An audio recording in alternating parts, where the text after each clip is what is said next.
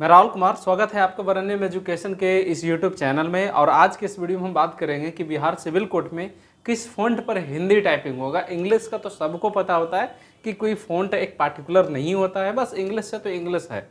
But Hindi के लिए ये कन्फ्यूज़न हमेशा के लिए और तकरीबन सभी एग्ज़ाम में बना रहता है। तो बात यह है कि इस एग्ज़ाम में, बिहार सिविल कोड के एग्ज़ाम में, चूँकि उसका टाइपिंग थोड़ा टफ है और टाइपिंग टफ होने के कारण से इसलिए टफ है ना, क्योंकि जो वर्ड पर मिनट है, वो एक्चुअल में वर्ड पर मिनट है। जैसा कि हम पिछले वीडियो में बात कर चुके हैं, अगर आप हमारा पिछले वीडियो नहीं देखें तो जल्दी से जाके देख लीजिए। उसमें हम ये बात बता चुके हैं कि वर्ड पर मिनट और की स्ट्रोक में क्या अंतर होता है।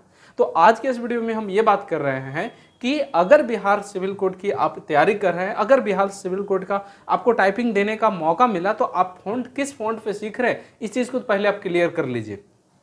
देखिए, हम ये नहीं कहेंगे कि जो बिहार सिविल कोड का नोटिस है ना, उसमें साफ़ तौर पे ये बात लिखा गया है कि किस फॉन्ट पे टाइपिंग होगा। ये बिल्कुल भी मेंशन नहीं है, ये नोटिस आएगा, ठीक है? एक बात हम आपको इस इस बात को क्लियर कर देते हैं। दूसरा, कि अगर हम सिविल कोड का तैयारी कर रहे हैं तो उससे रिलेटेड एग्ज़ाम जो होता है, वो हाई कोर्ट होता है। ना कि एसएससी होता है या फिर और कई एग्ज़ाम होता है। उससे रिलेटेड एग्ज़ाम यही है कि हाई कोर्ट को हम देखें और हाई कोर्ट के जो एग्ज़ाम हुआ है अगर आप हाईकोर्ट के नोटि नोटिफिकेशन डाटा एंट्री ऑपरेटर का अगर आप देखना चाहते हैं तो गूगल पे सर्च कीजिए कि मतलब पटना हाईकोर्ट मतलब डीओ मतलब जो डाटा एंट्री ऑपरेटर मतलब आ, मतलब data entry operator computer cum typist वाला जो था वैकेंसी आप आप लोग में से बहुत लोग जानते होंगे। उसमें देखिए हम आपको बता देते हैं साफ़ तौर पे बता देते हैं कि पेज नंबर नोटिफिकेशन टोटल पंद्रह पेज का है जिसमें छः नंबर पेज में नोट में साफ़ तौर पे लिखा गया है कि जो टाइपिंग है द कीबोर्ड मतलब साफ़ तौर पे लिखा हुआ है कि the keyboard layout for Hindi typing, जो कि मतलब हिंदी टाइपिंग के लिए जो कीबोर्ड का लेआउट रहेगा, वो रेविंटन गेल है जो कि मंगल फॉन्ट के आधारित पे चलता है। देखिए, मंगल जो है ना, वो फॉन्ट है, मंगल जो है फॉन्ट है। और उसमें गेल जो होता है ना, वो लेआउट है। गेल के अलावा और भी कई तरह के आते हैं लेआउट जैसे सी C B I in script आते हैं। इस तरह से करके और भी कई अलग अलग प्रकार के आते हैं। उसमें सबसे ज़्यादा फ़ेमस जो है ना, वो सबसे ज़्यादा फ़ेमस जो है कौन है? मंगल रेविंटन गेल तो मंगल जो है वो फॉन्ट का नाम है और उसमें जो लेआउट है, वो रेविंटन गेल का नाम है। ठीक है?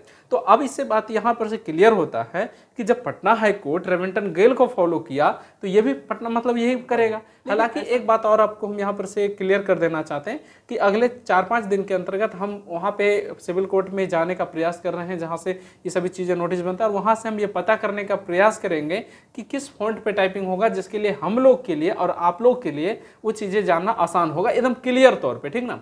लेकिन अभी अभी अगर हम आपको एक्सपीरियंस के आधार पर बताएँ तो रविंटन गेल कीजिए। रविंटन गेल पर ही टाइपिंग होगा क्योंकि पटना हाईकोर्ट जो है ना, वो किस चीज़ पे लिया है? तो रविंटन गेल पे लिया है, ठीक है? अब आप ये कहेंगे कि फिर रविंटन गेल पे अगर हम कर ले, फिर कुर्ती देव दे दे तो फिर कन्फ्यूज़न है। या कुर्ती देव पे कर ले और रविंटन गेल दे दे तो कन्फ्यूज़न है। देखिए, ये चीज़ें तब तक हम ये नहीं करें कि मेरे पास अभी सबूत है और हम बोल दें। और हम मतलब बढ़ा चढ़ा के बोलने वाले हैं नहीं कि मतलब हाँ जो मनाया सिर्फ़ बोल देंगे, वो नहीं कर सकते हम, ठीक है? तो जो नोटिफिकेशन में लिखा गया है, उसी के आधार पे हम आपको समझा रहे हैं कि अगर पटना हाईकोर्ट के अगर आधार पे देखा जाए तो रविंटन गेल होगा और रविंटन गेल और कुर्ती देव में कोई अंतर नहीं होता। अगर आप कीबोर्ड को देखते हैं, ये कीबोर्ड है हमारे पास, इस कीबोर्ड में जो मतलब ए एस डी एफ़ वाला रो होता है, उसमें रविंटन गेल में भी सेम होता है, कुर्ती देव में भी सेम होता है। करने का तरीका भी सेम होता है। नीचे वाला जो रो होता है, उसमें भी सेम है और मतलब कुर्ती देव में भी सेम है और मतलब रेविंटन गेल में भी सेम है। ऊपर का Q W E R T वाला जो रो है, उसमें भी मतलब रेविंटन गेल में सेम है और मतलब क्या बोलते हैं कि कुर्ती देव में सेम है। लेकिन जो ऊपर में नंबर की से होता है, वो सिर्फ़ चार पाँच बदला है। तो ये बहुत बड़ी बात नहीं है आप लोग के लिए कि मान ले हम कुर्ती देव में कर रहे हैं। फॉर एग्ज़ाम्पल कि अगर आप कुर्ती देव में कर रहे हैं तो रेविंटन गेल में आने में आपको बहुत ज़्यादा प्रॉब्लम होगा। ऐसा बिल्कुल भी नहीं है। या फिर रेविंटन गेल पे कर रहे हैं तो कुर्ती देव में जाने में आपको बहुत प्रॉब्लम होगा। बिल्कुल भी नहीं। कुर्ती देव में और रेविंटन गेल में फ़र्क क्या है, इस चीज़ को समझिए। कुर्ती देव में क्या होता है कि जब भी हम कोई चीज़ों को ऐसे वर्ड लिखते हैं, जिसमें कि कोई ऐसे सिंबल यूज़ हो रहे हैं, जो ये डायरेक्ट तौर पे किसी मतलब किसी यूज़ नहीं किए जाते, उसके लिए हम लोग शॉर्टकट की का प्रयोग करते हैं। सेम चीज़ें रेविंटन गेल की में क्या होता है कि उस चीज़ को बनाया जाता है। मतलब उसके लिए शॉर्टकट की यूज़ नहीं किया जाता, उसको बना सकते हैं आप। जैसे अगर आपको उत्तर लिखना है तो ऊ देते हैं और आधा तो मतलब आधा तो ना देकर पूरा तो दीजिए और हलंत लगा के फिर तो अर्र लिख दीजिए, उत्तर लिखा जाएगा।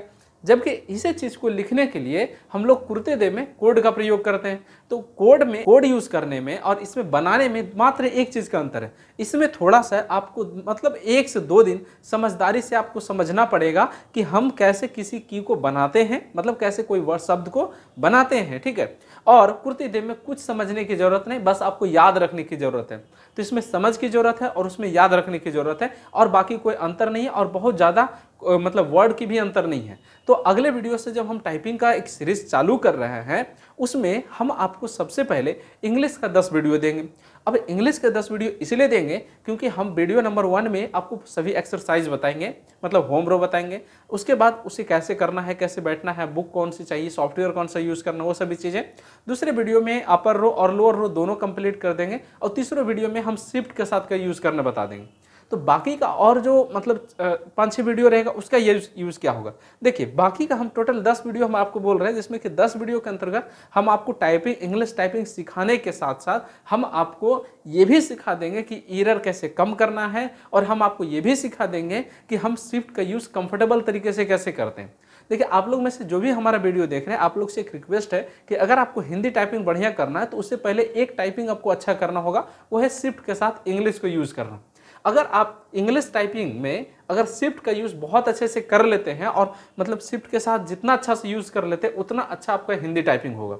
हाँ ये बात भी सच है कुछ लोग के लिए मतलब एक्सेप्शन केस है, लेकिन एक बात बता देते हैं कि कुछ लोग डायरेक्ट हिंदी शुरू किए और हिंदी भी अच्छा है। तो ऐसा एक्सेप्शन केस होता है एग्ज़ाम वाला में एक्सेप्शन वाला आदमी नहीं चलता है वहाँ पर एवरेज आदमी चलता है जिनको सही से सभी चीज़ें आते होंगे, ठीक है? आई होप कि आप समझ पाए होंगे कि रेमिंटन गेल कितना ज़्यादा इंपॉर्टेंट है। आप ये, इस चीज़ को नोटिफिकेशन आप हम आपको बता भी दिए कि पेज नंबर छः टोटल पटना हाईकोर्ट का हम बता रहे हैं।